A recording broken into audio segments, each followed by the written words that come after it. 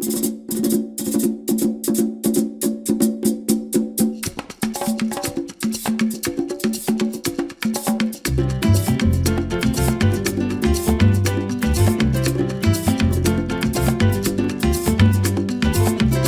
te traigo esta bomba, esta bomba puertorriqueña.